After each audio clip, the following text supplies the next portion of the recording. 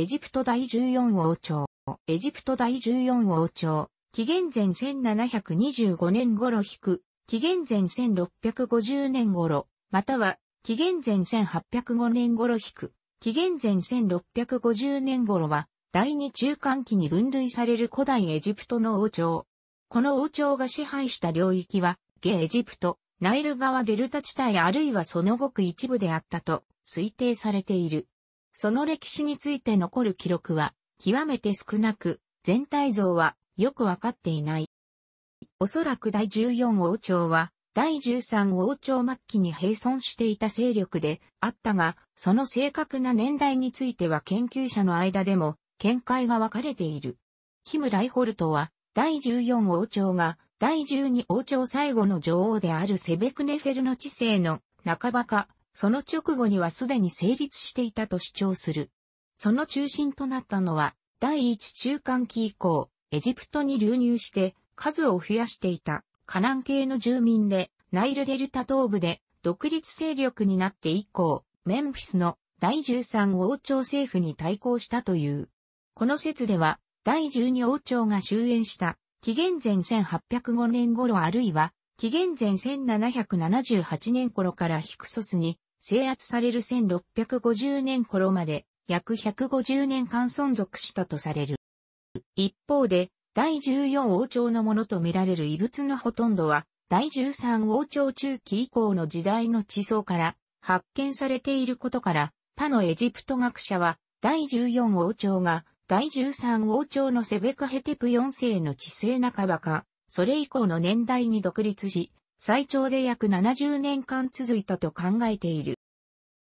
マネトの記録によれば、第14王朝には76人のの王がいた。クソイスは、ストラボンの記録によれば、ゲエジプトの内部にあって、島でもあり、都市でもあったとされている。このクソイスはおそらく今日の坂で、ゲエジプト第6県にあったと考えられている。しかし、近年の発掘調査で、第15王朝の首都であるに、ヒクソスよりも前の時代から大規模な宮殿が存在していた子が明らかになり、同じ場所から非エジプト的な宗教様式を持った彫像が出土したこともあって、現在は多くの研究者が第14王朝がアバリスを中心にした政権だったと見ている。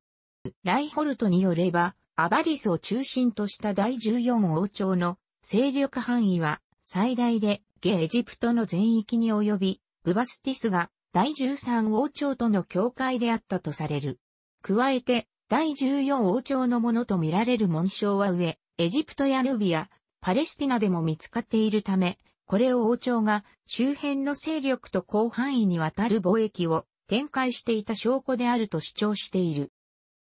鳥の王名表に記録されている王のうち何人かは、第14王朝の王であると考えられているが、彼らについての資料はほとんど残されていない。これらの王のうちベブネムはおそらくアジア名であり、アジア人の支配者がデルタ地帯に自立勢力を作っていたことが伺われる。また、第14王朝の王の中で若干の資料が残されているのがネヘシ5番王である。彼はおそらくアジア人ではなく、エジプト人の高官の息子であったと考えられている。アバリスから発見された神殿遺跡から彼の名前が発見されているほか、周辺からも彼の記念物が見つかっている。ネヘシ王の記念物の分布がゲエジプト東部の狭い範囲に集中していることから、彼の王国はアバリス周辺の小さな勢力であったことがわかる。